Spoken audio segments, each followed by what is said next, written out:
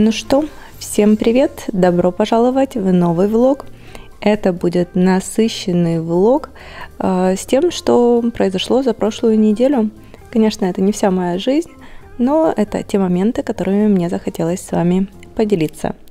И начинаем с моей утренней рутины. Возможно, это прозвучит не по-блогерски, но вы должны поверить мне на слова, что в жизни это выглядит несколько иначе. Я просыпаюсь тогда, когда еще темно, и также собираюсь гораздо быстрее, чем вы сейчас видите.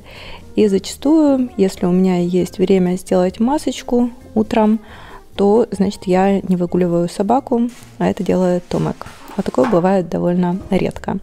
Но это все я снимала уже после моих обязанностей, поэтому я вот так в расслабленном виде могла поснимать все с разных ракурсов, но на самом деле э, я действительно делаю это все утром, просто вне камеры. И также каждое утро я готовлю детям завтрак. В этот раз я делала такие блины для себя с эритролом, но для них иногда кладу или сахар, или же потом поливаю все медом. Но рецепт не самый удачный, хоть и выглядит красиво.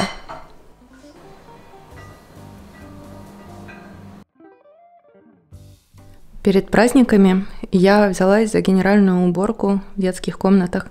Мы уже с мальчиками перебрали все игрушки. Снова бардак на письменном столе. Сейчас буду зазывать сюда Захара, пусть убирается. Это его зона ответственности. Меня сильно выбешивают ковры в детских комнатах, потому что они огромные. Вот этот 4 с чем-то метров, даже не помню на сколько, возможно на 5. И он, зараза, периодически скатывается, его нужно чистить. И это занимает так много сил. Вот эта машинка от катышек сто раз успеет разрядиться. Короче, работа на пару дней. Но я нашла вот такую штукенцию. Я на самом деле покупала ее еще в феврале этого года, и она валялась, не до этого было.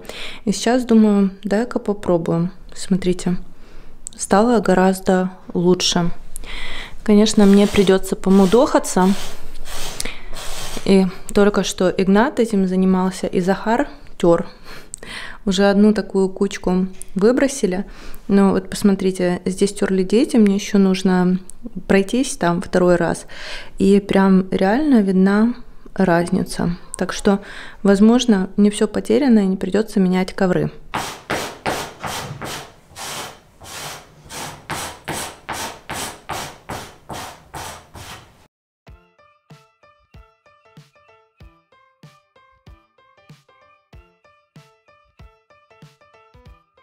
Но вы же видите разницу? Потому что я ее вижу. Не помню, я сказала или нет, она из Алика. Я правда думала, что она будет больше, но стоила недорого, я думаю, была не была. И, по-моему, у нас все сложилось. Вы довольно часто спрашиваете, помогает ли мне кто-то по быту, кроме мужа. Я должна признаться, да. Вот она моя верная помощница. Она всегда и везде со мной, даже если я запряталась в другой комнате. Меня не напрягает то, что она немного мне мешает.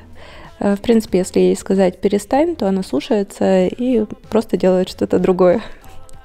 Но это щенок, ей всего 8 месяцев, поэтому нужно воспитывать. Иногда я бываю с ней гораздо строже, но есть время для воспитания. А сейчас мне даже самой хотелось с ней поиграться, но было не совсем до этого. Она выбрала не самый подходящий момент. Тем не менее, по-моему, ей понравилось то, что я делала.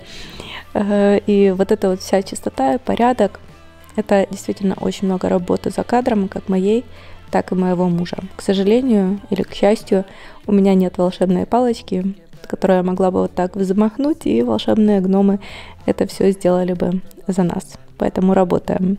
Я просто не могу в это поверить. Это все катышки. Два часа работы но результат, вау. Правда, мои руки, конечно, в ужасе. Я понатирала себе мозоли. Томик зашел и говорит, вау, вот это ты даешь. Он практически как новый. То ли день, то ли ночь, ничего не понятно, потому что постоянно темно, это в основном краковская погода зимой.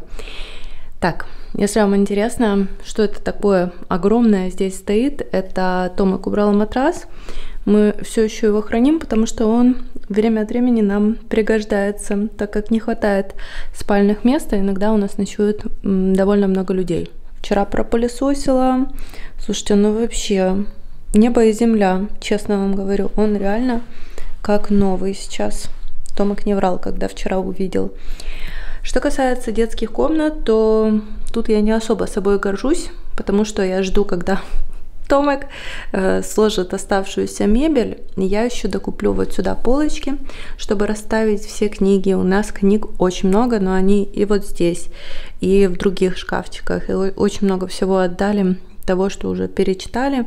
И вот из библиотеки Захар снова принес Гарри Поттера, лежит. И он вообще ребенок, который пропадает в книжках. Мы ограничиваем гаджеты, он особо от этого не страдает, а вот книги обожает. А это письменный стол, который мы с вами выбирали еще осенью. Э, кресло у нас было, может оно не самое удачное, но Захар сказал, что менять не надо.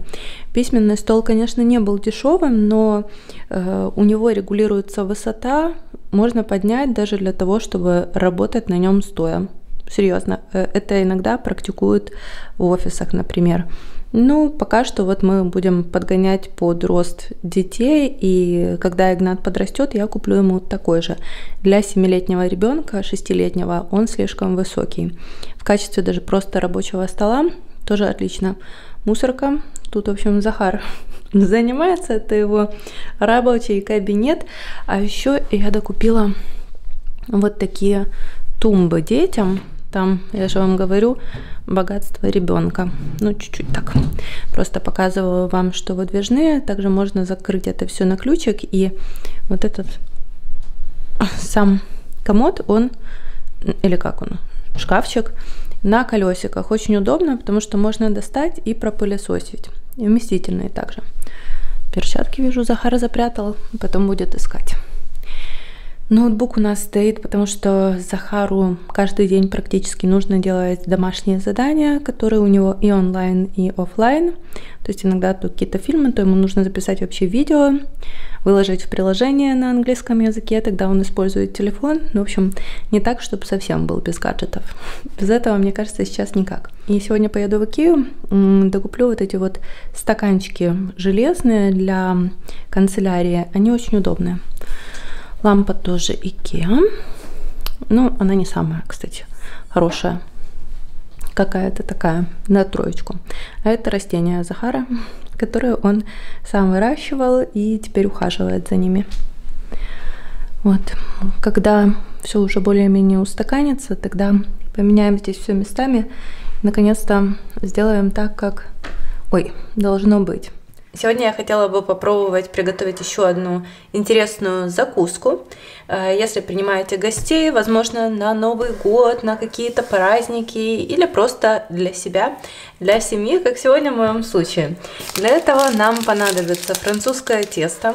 Что такое французское тесто? Это слоеное тесто. Оно у нас продается везде, в каждом продуктовом магазине, в том числе и в Лидле, в Бедронке. Это я купила вот у нас тут э, в местном маркете.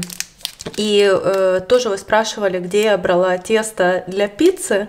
Оно есть и в бедронке, и в рилле точно, а в каких-то маленьких я не уверена. Но мы берем обычное слоеное тесто. Здесь оно называется французское. Оно подходит как для соленой выпечки, так и для сладкой. То есть такое универсальное у нас. Также нам необходим сыр. Это может быть камембер, любой мягкий французский или же бри. Ветчина. У меня это будет не совсем ветчина, мяско. Это прошутто.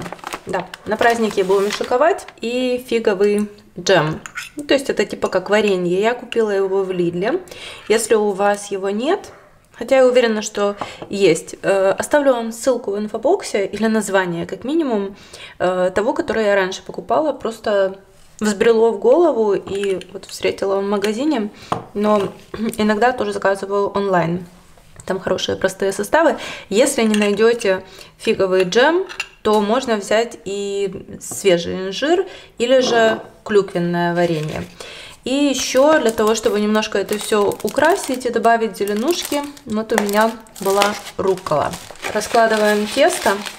Я хочу вам сказать, что слоеное тесто это вообще палочка-выручалочка, как я люблю говорить, в любой непонятной ситуации, когда ты спешишь, у тебя мало времени, нужно много всего подготовить, наготовить. И из слоеного теста можно много чего сообразить. И оно всегда получается, кстати. Ну, то есть, когда выпекаешь что угодно, то э, всегда все удается. Ого, какое оно большое! Не буду все раскручивать. И теперь нарезаем его квадратиками. Ну, там, плюс-минус. Кстати, девочки, я читаю все ваши комментарии. Спасибо за рекомендации. Вы посоветовали мне нарезать слоеное тесто ножом для пиццы. Это реально очень удобно. Можно, конечно, взять и обычный, но раз он у меня есть, надо пользоваться.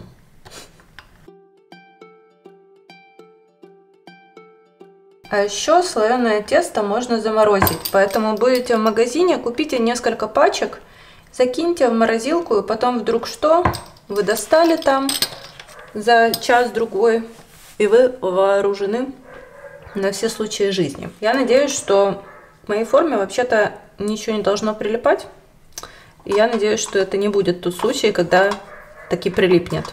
Можно воспользоваться также бумажными формочками, но, честно говоря, у меня реально 20 минут времени, чтобы еще и записать для вас рецепт. Поэтому я не стану их искать. Я иногда куда-то как пристрою что-то, знаете, сама потом ищу. Теперь добавляем э, прошутто. Если у вас вдруг его нет, то можно взять любую другую ветчину, какую-то колбаску. Если вы любите острое, можно взять чоризо. Это такая испанская, по-моему, да? Острая колбаска, она очень прикольно сочетается со сладким тоже. Юки, оставь пылесос. Нарезаем по кусочку сыра. Сыр у меня супер мягкий, так аж приклеивается ко мне. И теперь выкладываем немножко нашего инжирного джема. Мне очень нравится сочетание соленого и сладкого. Даже, наверное, чуть меньше можно класть что он сладкий довольно-таки.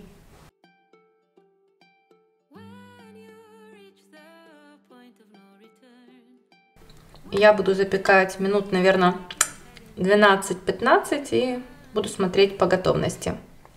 А пока наша закуска запекается, покажу вам еще один вариант такого согревающего напитка.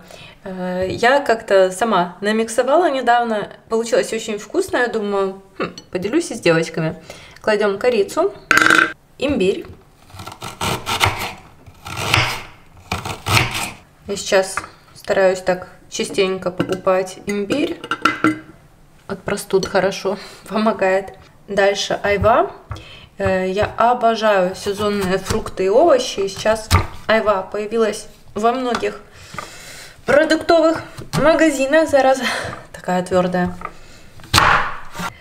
Так что стараемся употреблять то, что сейчас дала нам природа. У нас у соседей растет айва, такое огромное дерево. Я все пыталась у них купить, но их вечно не было дома. Мы не знакомые, они живут дальше. Но она такая ароматная, проходишь, прям аж чувствуется. Нарезаем дольками. Это вообще не, не столь важно. Но мне кажется, что чем мельче ты что-то нарежешь, тем как бы лучше это отдает свой вкус.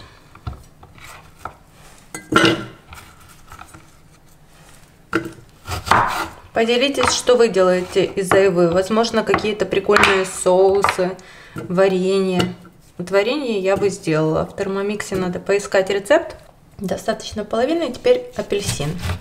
Апельсины я беру био. Вообще, если я собираюсь что-то там заливать кипятком с кожурой, то, конечно, лучше, чтобы это было био-эко, чтобы эту всю химию потом не употреблять. Ее и так достаточно у нас везде.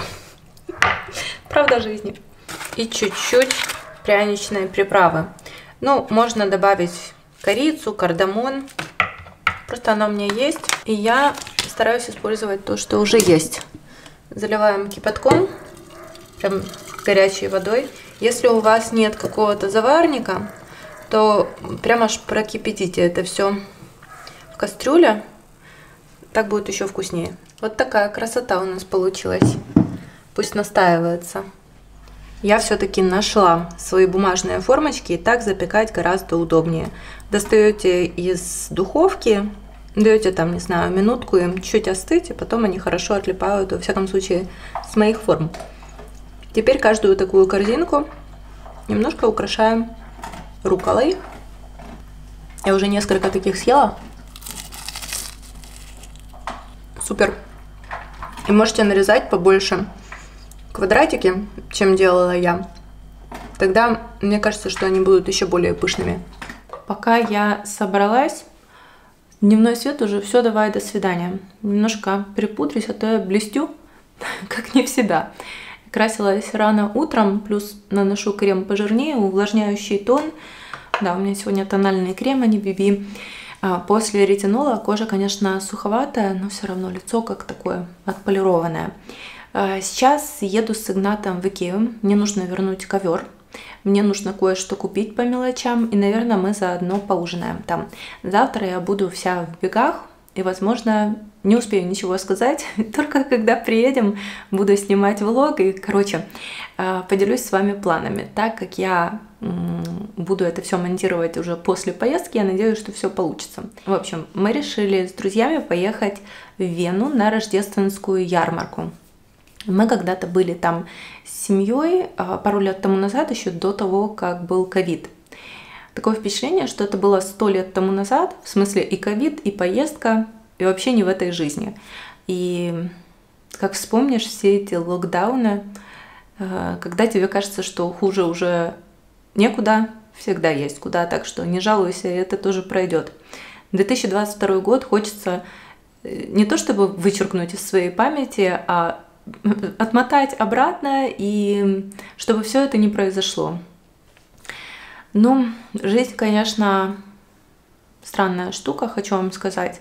Вернемся к рождественской ярмарке. Мы решили поехать отдохнуть с друзьями и с детьми. И когда мы начали искать э, какие-то апартаменты или какие-то номера в отелях, у нас будет аж 7 человек, поэтому нам нужно было несколько и желательно рядом. Ничего толкового не было. Все зарезервировано, видимо, все хотят посетить эту чудесную, супер атмосферную, красивую венскую ярмарку. Мне она, кстати, даже больше нравится, чем в Праге. А, поэтому мы решили остановиться в Веннер Нойштадт. Для меня это типа как пригород Вены, очень уютный, а, такой скромный, спокойный. И мы всегда там останавливаемся тогда, когда ездим отдыхать Э, в Хорватию. Вот особенно, когда едешь на юг, дорога занимает очень много времени, и поэтому мы останавливаемся, там гуляем вечером, потом ночуем, утром дети идут на площадку, и с собакой там очень удобно.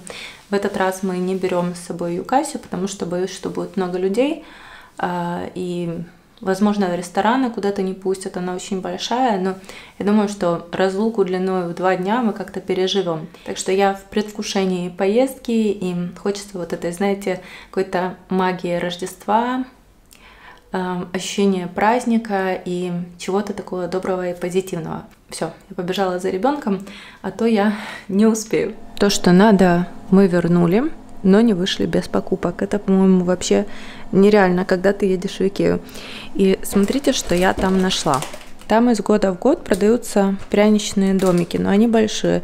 У меня пряничный домик еще есть тот, который подарила Настя малыма, все никак не соберет.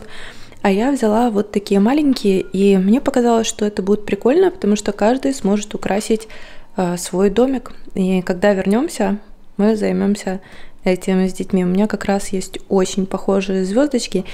И самое прикольное это кондитерский клей. Я вообще не знала о существовании чего-то такого. То есть, видите, им можно склеить вот эти домики. И если останется, то я предложу Насте собрать и тот большой, который, эм, ну, знаете, уже такой с выдержкой несколько лет. Есть мы его, скорее всего, не будем, ну, собрать и украсить будет интересно. Настя любит всякий такой движ, но он реально очень большой, я не знаю. Не могли придумать, эм, что такое сделать самим, чтобы потом это посклеивать. Я видела, что такой типа как глазурью все это заливают, но мне такое не нравится.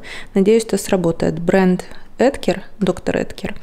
Если не в Икее, то я уверена, что где-то еще это все есть. И также взяли бокалы. На празднике у нас не было вот таких больших, ну как, точнее, когда-то были, но они поразбивались, и для пироля тоже подойдут, они недорогие, и для венца. Шесть штучек, они периодически распроданы, но, видимо, как раз была поставка, а механизма для звезд уже не было, а мне нужно было, было докупить один. Я же вам говорила, так что мне самой не хватило. Захар просит повесить звезду, но нет теперь такой возможности. Разве что онлайн поищу где-то. Ой, как хорошо, я собираю вещи, тут как раз доставили мою посылку, причем супер быстро, я так понимаю, из Гданска. Э, я купила себе вот такую шубку, еще шапку, также свитер. Сейчас не успеваю это все примерить, но это то, что будет на мне дальше во влоге, потому что я однозначно беру это с собой. В общем, я ради интереса просматривала шубки Макс Мара, и потом Инстаграм подсунул мне профиль бренда Таранко. Это польская марка. Я вспомнила, что пару лет тому назад они рекламировались у польских блогеров, и еще тогда многие хвалили качество. Сейчас вот я купила и сама в этом убедилась. В Кракове, в галерее Краковской у них есть стационарный магазин. Я тоже раз там была на распродаже, но ничего интересного не нашла. А тут взяла свитер с хорошим составом, он с шерстью. А, взяла себе размер 36 для того, чтобы он был свободненьким. Цвет очень красивый, такой а, бежево-тауповый, немного меланжевый. И шубка милейшая, она с шерстью, ну, вообще все, конечно, на высшем уровне. И подкладка здесь есть, она на кнопочках. И я вообще хотела себе подобного плана шубку, но, знаете, у меня есть белая из манго, она супер. И сейчас огромное количество, но я хотела что-то прям на зиму, знаете, чтобы было теплое. Я думаю, что она будет хорошо греть. Я как раз в поездке все протестирую. Еще вот эта шапочка, такая пушистая, она тоже шерстяная. Да. Вот, и они были в нескольких расцветках. Мне нравится то, что она в стиле бини, то есть не маленькая, знаете, не будет обтягивать голову. Так что я практически собрана. Осталось еще раз повесить стирку детскую, забросить штаны, взять обувь. И сумка тоже едет со мной. А сейчас я приглашаю вас в такое небольшое увлекательное путешествие по рождественской Вене. Мы были там не так долго, тем более мы отдыхали с друзьями. Я встречалась со своей подругой Наташей Нафи, наверняка многие из вас ее знают. Э, так что мы много болтали за кадром, э, ели вкусно в разных ресторанах, очень-очень много гуляли, побывали, наверное, на большинстве ярмарках, мы пили пунш. Оказалось, что есть несколько разновидностей. Такого количества я даже нигде не видела. И Вену просто изумительно украсили. Это не может не заряжать, это не может не радовать. И, господи, это были самые классные выходные или одни из самых классных за весь этот год. Я отдохнула душой, я впитала в себя все красоты, я увидела столько всего интересного. И знаете, в жизни бывают такие люди, с которыми ты видишься не каждый день, не, не каждый месяц, возможно, даже не каждый год, но когда вы встречаетесь или созваниваетесь, вы не можете наговориться. И вот э, Наташа это очень близкий по духу человек для меня, и она действительно очень милая, добрая и сердечная в жизни а не просто где-то там на видео и искренняя. И мы были вместе два дня а с детьми, вот с семьей, да, и с Наташей. А, я написала ей заранее, мы договорились встретиться, и супер. Я ей благодарна за то настроение, которое она, в частности, подарила нам в эти дни. Было очень здорово, уютно, вкусно, интересно. Мне бы очень хотелось повторить такую встречу как можно скорее.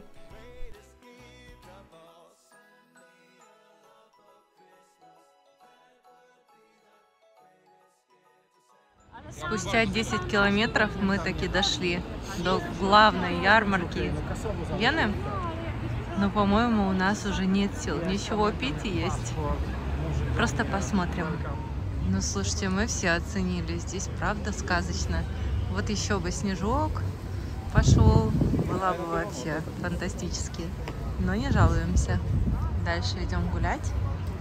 Хотя сил уже не так много удивительно. Мы сегодня так мало спали, но все как-то так заняты, дети в том числе, что даже никто не жалуется.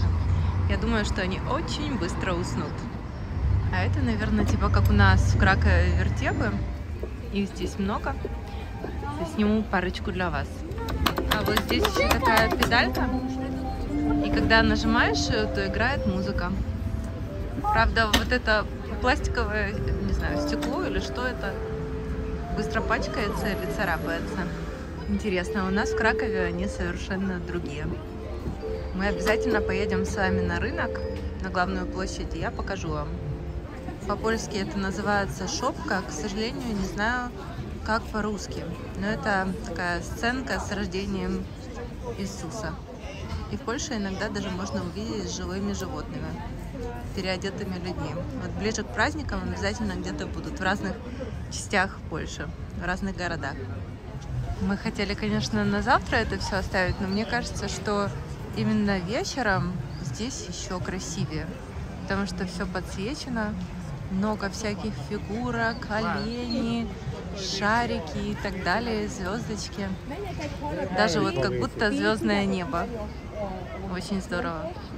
Честно говоря, я не припоминаю такой ярмарки, вот когда мы были пару лет тому назад, возможно, мы сюда не дошли, а может ее просто не было. Но если вы будете в этих краях, то, конечно, могу вам рекомендовать. Это восторг. Даже если у тебя совершенно нет настроения, попадая сюда, ты окунаешься в вот эту рождественскую атмосферу. И вот издалека я думала, что это какие-то шарики. Это на самом деле сердца на дереве, оно большое, полностью украшено. И вход с этой стороны сделан в виде елочек. И очень много людей. Но вот здесь, кстати, уже меньше толпа, чем пару часов назад. Я думаю, что холод всех распугал, но не нас. Это место я показывала вам как-то осенью. Мы были здесь с Микушей. Здесь прикольные лавочки стоят. И сейчас тоже организовали ярмарку. Здесь чуть меньше людей. Интересно, что внутри все в таком современном стиле, а снаружи это старинный дом. И не скажешь, что здесь такое. Бетонная стена. Летом здесь, конечно, немножко по-другому, но, слушайте, во время праздников не менее прикольно. Наконец-то мы заселились в отель, обошли всю Вену. Тома купил себе пивасик и Шимоном. Здесь вот такая кровать, очень компактно, чисто и тепло. Будем ложиться отдыхать. О, ноги у меня отваливаются. Вот, собственно говоря, шубка, я в ней совершенно не замерзла. Вот даже ногам тепло. Такая удачная длина. Зимой будет отлично. Сейчас как бы тоже зима, только руки я, конечно, отморозила, хотя была в перчатках. И лицо что у меня в моей дорожной уходовой косметичке? Это проверенные средства, которые вот в маленьких упаковках я могу без раздумий схватить косметичку и поехать. Только добавила крем под глаза, потому что маленькая баночка закончилась, и у меня, кстати, нет пустых. Сейчас довольно сложно их купить. Это масло для демакияжа и влом. Оно дорогое, но очень хорошо очищает кожу и также увлажняет ее. Здесь супер состав. У меня было несколько миниатюр и всегда с удовольствием использую до конца. Увлажняющий гель для умывания CeraVe, особенно в холодное время года, супер. Также такая масечка от Emma Hardy. Это масло для лица. Э, его нужно совсем чуть, и оно отлично питает кожу. Э, вот если когда-то встречу полноразмерную, то тоже купила бы. И универсальная штучка. Это крем для лица от Dr. Jart. Он хоть и гелевый, но он хорошо увлажняет кожу и восстанавливает защитный барьер. Я не взяла с собой никаких активных сывороток, потому что перед поездкой я не пожалела для себя на ночь ретинола и понимаю, что лучше даже витамин С убрать на несколько дней. А, только увлажнение и восстановление. Нравится мне он. Крем под глаза от Глаше питательный. А, вот это еще спрей. Покупала как-то такие баночки. Пикси. По-моему, с розой. Бальзам для губ Клиник. Он у меня был в каком-то наборе. Тоже хорошо устраняет сухость губ и восстанавливает даже после матовой помады или после того, как они обветрились. Гуаша это я буду использовать завтра. И вот сейчас нанесла увлажняющую маску, придающую, придаю, господи, я очень устала, придающую э, сияние кожи, пилорга. У меня была полноразмерная, и вот такой небольшой мне хватает на несколько раз. Сейчас пойду проверю, спят ли дети, потом смою маску и нанесу все остальное. Завтра у нас снова насыщенный, активный день, и я надеюсь, что мы снова встретимся с Наташей и Нафи, сколько бы у нас не было времени. Мы все время будем болтать, и всегда найдется о чем поговорить. Доброе утро! Сейчас мы идем гулять по небольшому городку. А дальше отправляемся снова в Вену. Я вам говорила, что мы останавливаемся в пригороде. Идем сделать чекаут. Я уже кардинально утеплилась. Дети тоже, слава богу, не замерзают. И э, идем гулять, наслаждаться видами, вкусно есть и прекрасно проводить время. Между прочим, в этом отеле в Хилтоне какие-то феноменальные завтраки. Хочется съесть все, но не может, потому что выбор огромный, и очень много людей сегодня было на завтраке, многие с детьми. То есть э, я так понимаю, что это как перевалочный пункт, когда кто-то едет дальше или когда кто-то не смог, так как мы, найти жилье по адекватной цене в Вене, а здесь не очень-то и дорого.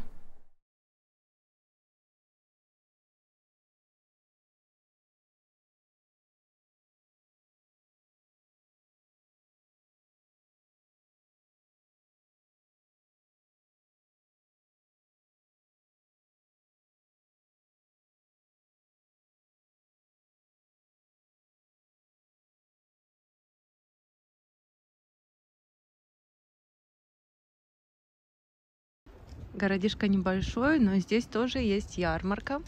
И вечером здесь все в подсветке и работает, так как утро еще все закрыто. Очень мне это все нравится. И всегда здесь много пожилых людей. Отдыхают как утром, так и днем, и вечером. Ну, холодновато, да?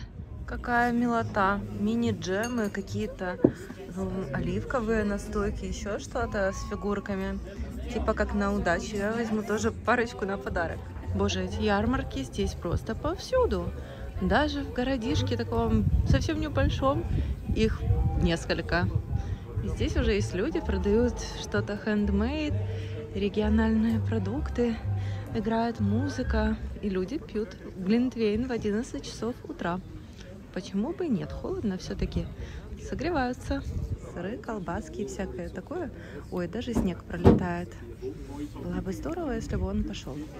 Пришли в Шонбрун, в детский музей. Здесь, оказывается, рядом такой движ. Очень много людей везде. Все что-то пьют и едят, а я пытаюсь найти Наташу. Но это не так просто, я должна сказать. Боже, я такого еще не видела. Очень красиво. Смотрите, это гвоздика приклеена. Очень оригинально. Все фотографируют, снимают. Здесь много разновидностей. Видите? Тоже из приправ. Как симпатично. Игнат тоже шел, жаловался, а теперь заинтересовал ребенка. Мы ищем, чтобы нам поесть. А это батат крутится, и потом это все поджарится, типа как чипсы картофельные. В музее можно переодеться.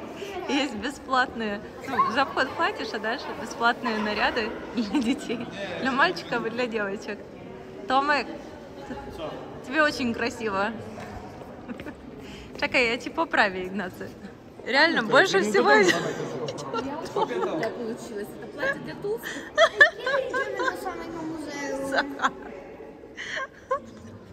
Так, просто обалденный. Граф. Граф Томаш. Боже мой, какая это ржачка. Я не помню, когда я так смеялась. Для взрослых тоже есть платья, шапочки, короны, но я подумала, что короны выбирают все, а я возьму себе шапочку и буду прислугой. Боже.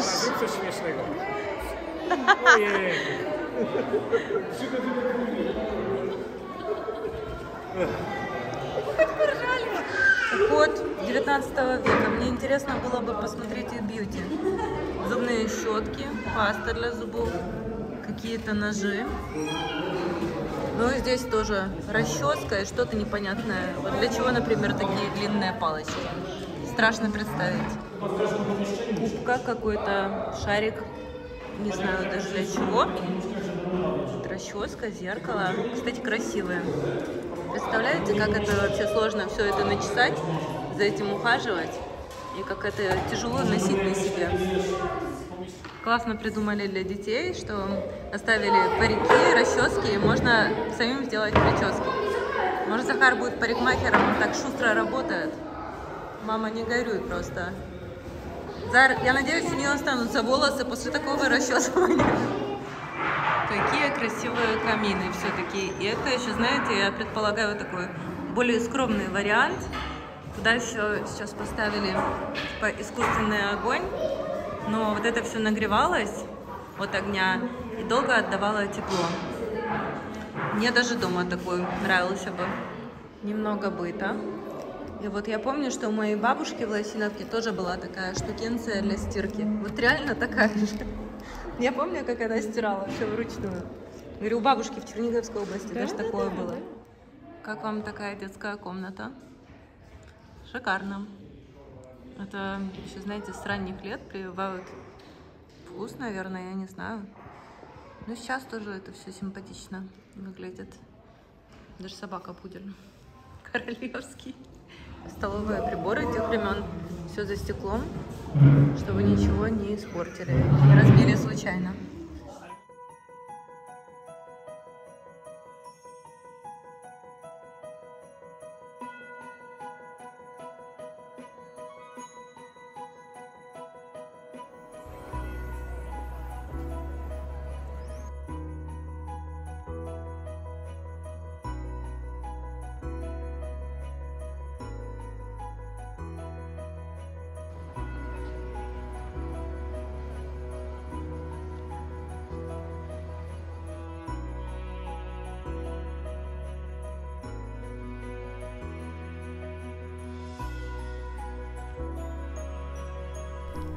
На этом я буду заканчивать свой влог. Я надеюсь, что вам сегодня со мной было интересно. Не забывайте поставить пальчик вверх. Это огромная поддержка для меня, как для блогера. И также это мотивирует снимать дальше, делиться тем, что я вижу, как я воспринимаю то, что меня окружает, делиться своими мыслями, каким-то опытом, настроением и вместе продолжать радоваться этой непростой жизни. Всех целую, обнимаю. Пока-пока. До новых встреч уже совсем скоро.